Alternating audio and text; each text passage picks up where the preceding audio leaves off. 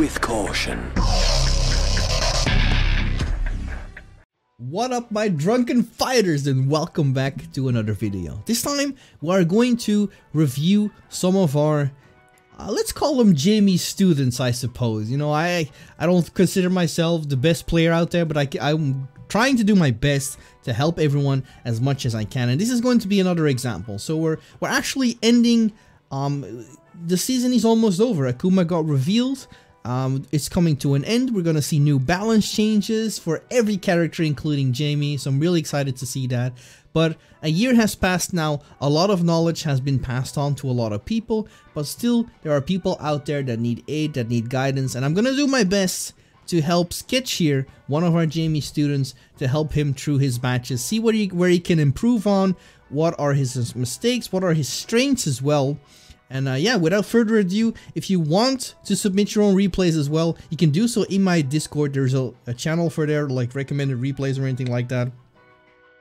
Um, you'll find it. Uh, you can submit your replays over there and I will use them in a video and give you uh, as much as help as I can. But without further ado, let's get into it. Let's get into the first match with Zketch. No mercy for you. Okay, versus Cammy. Super fun matchup. Hmm, that's just unfortunate, you know? I'm thinking you said it. Oh my, okay, okay, let's go. Doesn't mess around. Air to air. That's very, very dangerous going for Kari just like that. Oh, no follow-up. Nice, good block. Ooh, okay, the drivers there was not great, to say the least.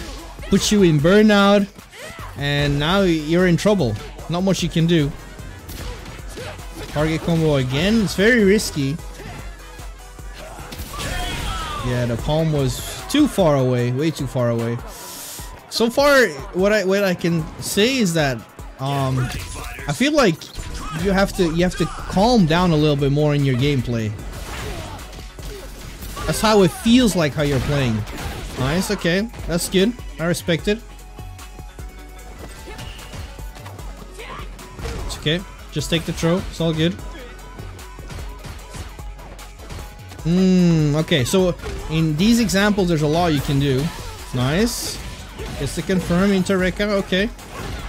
Nice. The juggle? No juggle, once again. You can sweep after that.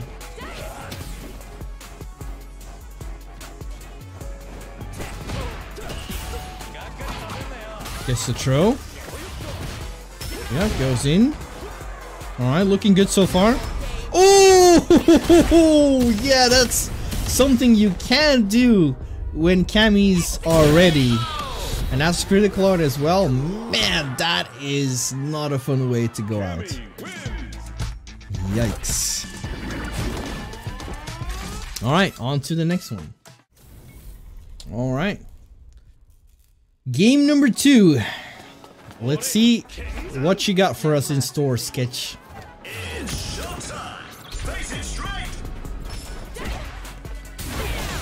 Wow, okay. Very, very delayed. Mm, yeah, the neutral jumps. Good pressure from Scene. Alright. Sometimes you gotta let it rock. I respected the pressure.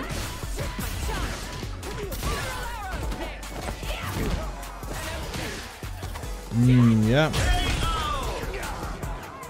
Defense seems uh seems to struggle a little bit in defense as well, which is which is normal because this this game's defense is hard. Nice, good challenge. Oh, not ready for the DI. And went for drivers as well. That's expensive. Nice. Okay, no drink. Oh, once again, poor driver's uh, drive gauge management right there forces the burnout. Or put, or yourself in burnout rather. Yeah, now you're in trouble. And I feel like this is where it also like, yeah. This, I feel like when you're when you're in burnout, you're also you feel like kind of lost on what to do.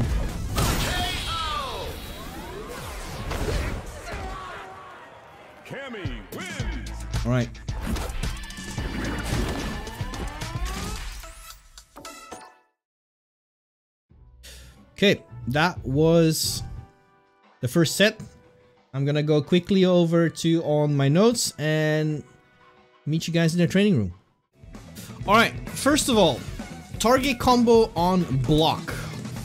Now, I tend to never use this. Sometimes it happens when I when I think I can get a combo and you know I fail to do it, but you gotta get rid of that habit. The reason for that is is there is no way you can keep target combo safe on block. Um, everything has a gap from driver's cancel to just Rekka um, to anything like that. So I put the dummy, in this case Cammy, on OD Cannon Spike after 3 hits. So that means after 3 hits, if she blocks obviously, that would be fan freaking tastic. She will do Cannon Spike. So let's say you're going for target combo and let's start off with trying to make it safe with Rekka. There, so there it is, Light Punch Rekka, there is a gap, one frame gap, mind you. Um, so yeah, that's not an option. So if I see target combo when I'm up against a fellow Jamie, I just mash DP. There's no way you're going to get punished 100%. If I try to cancel it into Drive Rush, and I went into jab after drive rush, I still get punished. So that's, it, it can be punished either way. Doesn't matter what you do, never ever go for target combo on block because it's the worst. Um, I, I guess you could do drive impact for example, but you know, um, that's, that's a risk on its own as well. We're not going to talk about that. So try to get rid of that habit and only use it on hit confirms. That being said, uh, if you use this move for example, then you can get your hit confirm easily. Um, if you go for light strings, you can hit confirm easily. This one as well. This all all doable, all perfectly doable. And that's that's where the strength of the target combo lies, is that the standing jab has a pretty decent range. So it's easy to combo into it. It's easy to hit confirm as well. So yeah, keep that in mind. Try to get rid of that bad habit. Okay, next up is getting used to hit confirm jumping heavy kick. So if you if you get a regular jumping heavy kick, there's nothing you can do. You can see that the opponent actually resets in the corner or she resets in the air. She does like a little backflip and she's back on her feet. But if you actually get a counter, then you can see it actually forces a knockdown. So if that happens, if that's the case, then you have to practice to... You, you can do a lot of things. You can go for DP, if you want some corner carry, and if you want some, uh, you know, you want to get a drink in. Um, but if you're close to the corner, for example, you can go for sweep. You can even get a couple of conversions as well. Imagine if you have Bakkai.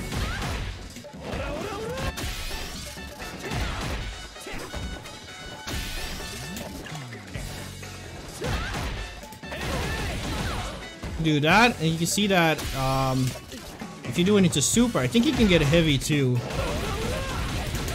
There we go.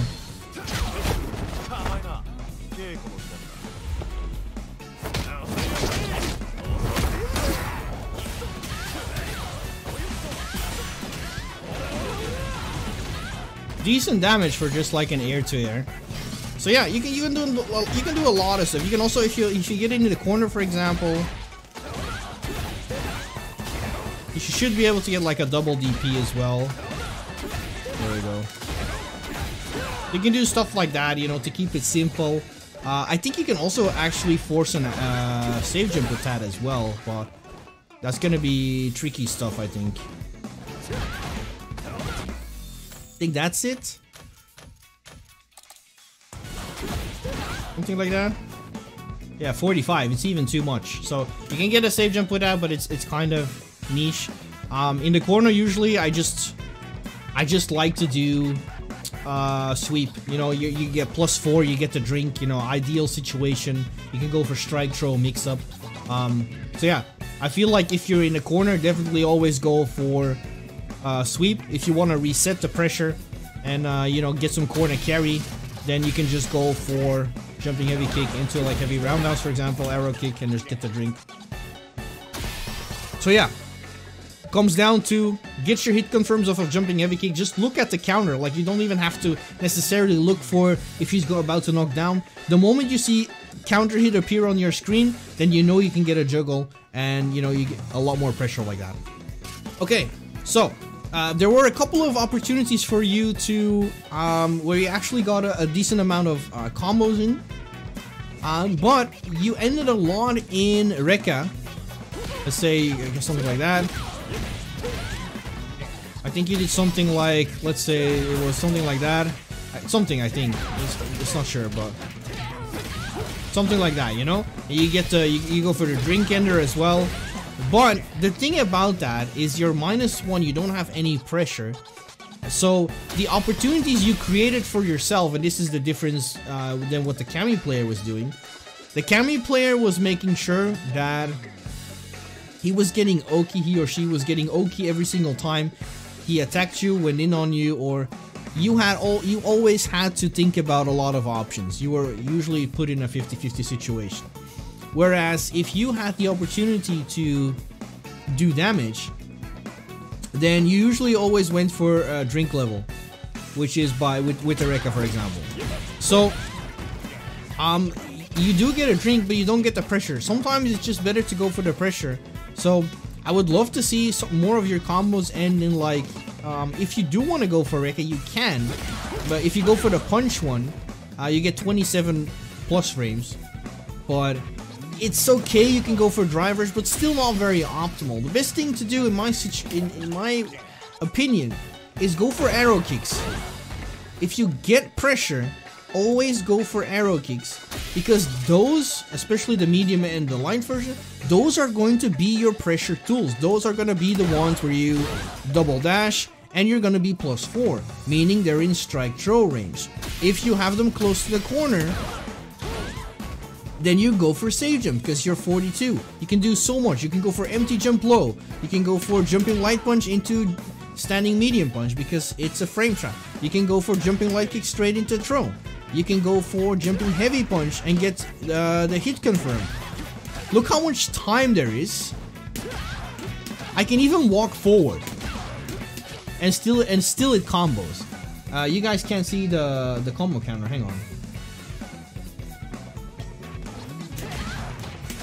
It's still combos. Still combos. So it's it's it's really strong. So arrow kick in that reason is really good. If and you can mix it up. If you go for medium kick, you can go for instant overhead. Is nine frames on counter hit. Um, so that means you can go for two HP.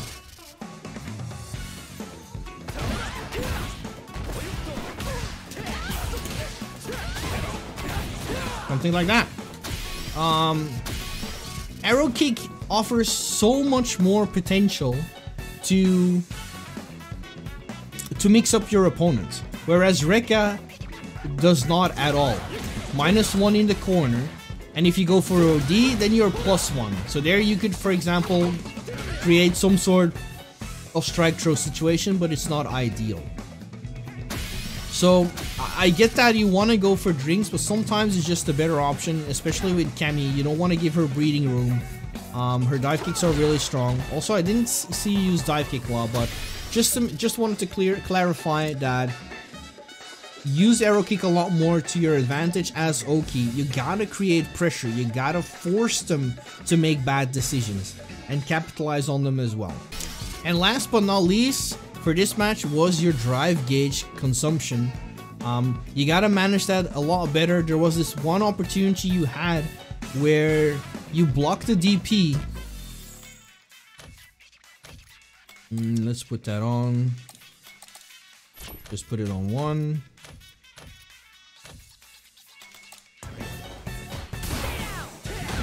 So you did something like that.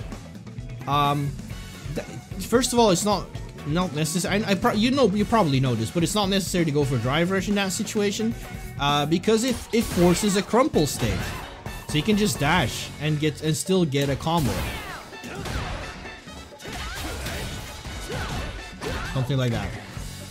Um, it, however, if you want it to be optimal, then you want to go for that because that does more damage and you can still get a 2 HP out of your crouching heavy punch and that's going to result into a lot more damage.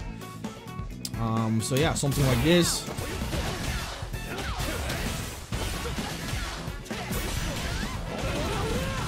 That's something you could do if you don't want to spend super bar.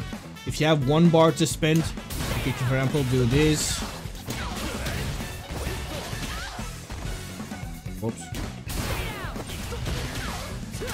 Boom. Drive rush.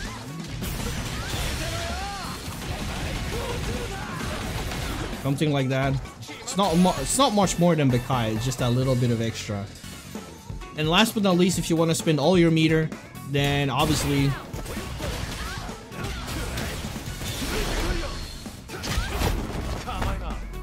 still 70% on that super because it's a link.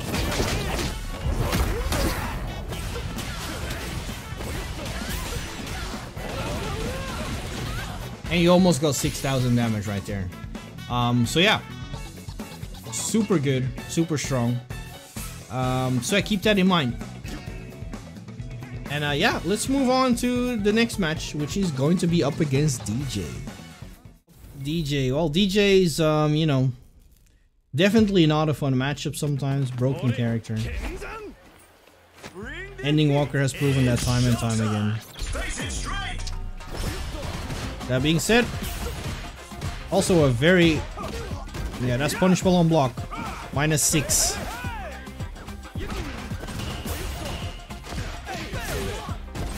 Good challenge from Shenlong. Oh, here we go. Baby! So much damage as well.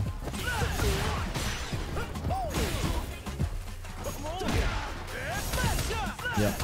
This is uh looking good. Nice sweep right there. Yeah, he was ready. Alright.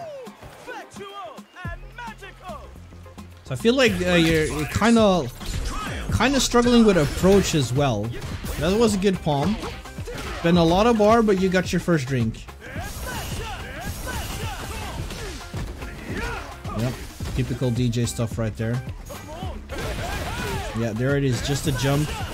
Afraid of the fireball. You gotta just move forward in these cases. There we go.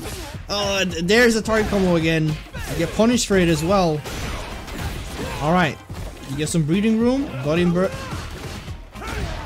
I think you wanted OD for the level 2. But it was not available. Oh, there was a beautiful confirming opportunity for target combo. Uh, what the?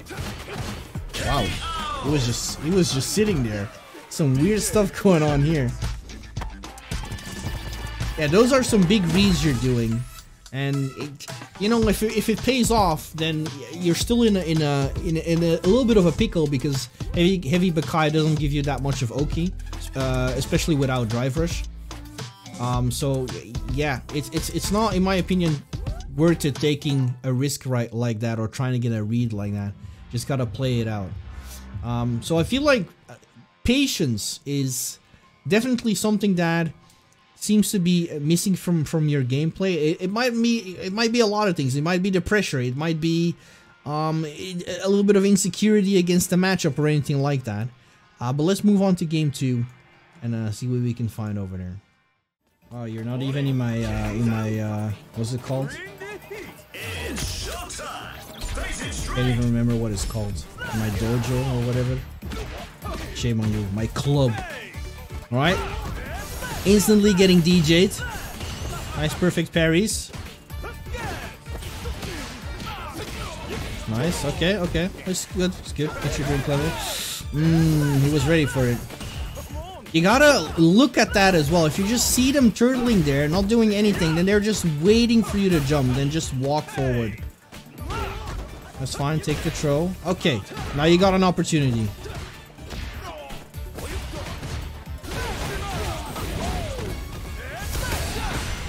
Nice, okay, okay. With the drink. Ooh, what? Oh no. Brother, you could have just jumped and not waste any drive rush.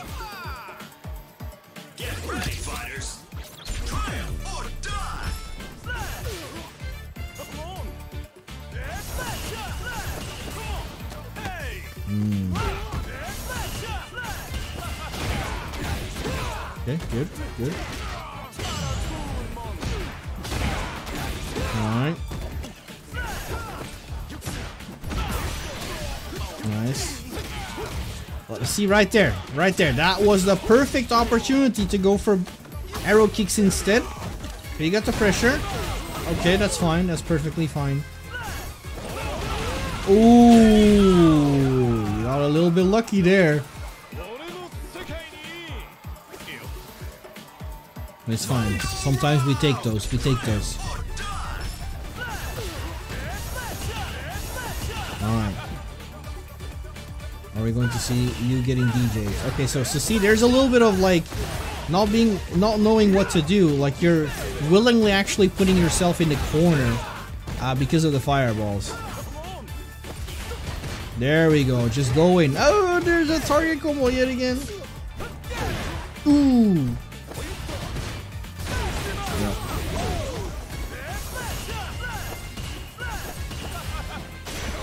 Oh, that's so unfortunate. Yeah, I feel like in this particular matchup, it's more of a, a knowledge check than than anything else. Uh, regardless, there were a couple of things that I did note. So uh, yeah, back to the training room we go. All right, so first up, after a stun, you can do two things. You can jump after one drink, more than enough time. Or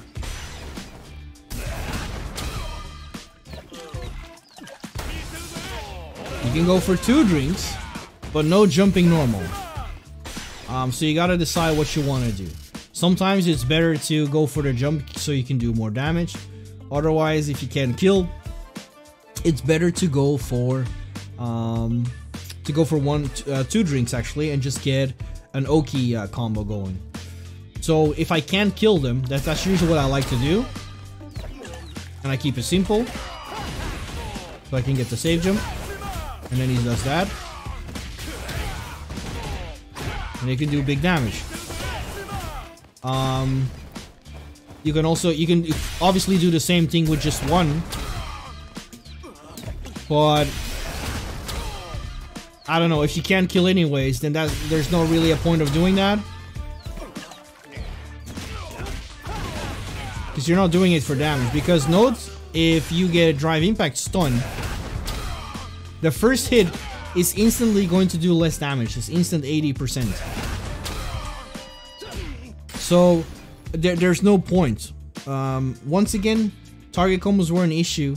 And yeah, I, I, I feel like you gotta understand the matchup a little bit better as well. So in terms of approach, there's nothing wrong with just walking forward. Parry, walk forward, parry, walk forward, parry, walk forward. Eventually you're going to get close to them, and then there's gonna be a drive there's gonna be a drive rush. Uh, you can ODDP, you can it's versus DJ it's a little bit harder to stop his drive rushes. But if you know they're coming, then like 5 LP is a good one, 2 MK is a good one. Uh, those are options you can use. Um, and yeah, once again, I, I, just saw a couple of things like in the corner, even the round where you won. Uh, once again, you just want to use more of that arrow kick and less of that Rekka option uh, because you, you just get way more options from it as well. You get to save jump. Um, we talked about it before, so it's it, there's a very similar thing going on with both of the replays from uh, both matches. So that is that is where I feel like you struggle the most. And in terms of approach, like I said, you, you gotta be, you don't have to be scared of walking forward and see what they're doing. Learn learn from it as well. Don't try and just mindlessly jump because you think you're gonna do a fireball because most of the times the, the DJ player was ready. So you gotta take your your um, approach on the ground. And I know that's hard to do. It's not easy, um, but it's going to be the most rewarding eventually um, for yourself as a player when you manage to achieve it, but also in terms of um, your health bar as well because you take less risk. So I there's one basic rule that a lot of people forget and it's probably one of the best rules to teach people when they're jumping a lot or, or dashing is that when you dash or when you jump you lose total control of your character. You can do you can't do anything. Yeah, you can go for jumping normal, but in terms of movement, you are you can let you can let go of your stick because it's not going to influence what you're doing. It's not going to influence your character. I can mash whatever I want. Nothing's happening when I'm doing that. Same with dash. If I dash, I can I can't do anything in between. So there's nothing I can do.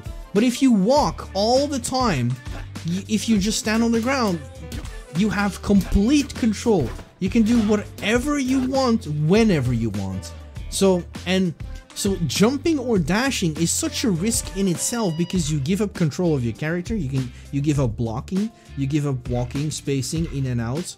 Um, you give up everything. So you're open to be punished when that takes place. So like going for a jump is almost the same thing as going for a palm, for example. Um, it, it's high risk, high reward sometimes. Um, so yeah, keep that in mind when you're trying to approach in this in this matchup. Um, I think there's a ton of, I think the even the last video that I released on my ranked matches was one with DJ as well. You can look at that too. Um, to see what kind of approach you need, what kind of different game plan I have in uh, in comparison to you, for example. But I also saw a lot of pretty good things as well, and you made it to master so far, so congratulations on that as well. Big achievements. So yeah, keep it up. Hope you learned something today, and uh, hope everyone else learned something as well from the explanation I gave to Zketch, because it matters. You know, it can matter for all of you. Don't forget, as usual, to stay cautious, and I will see you all in the next one. Take care.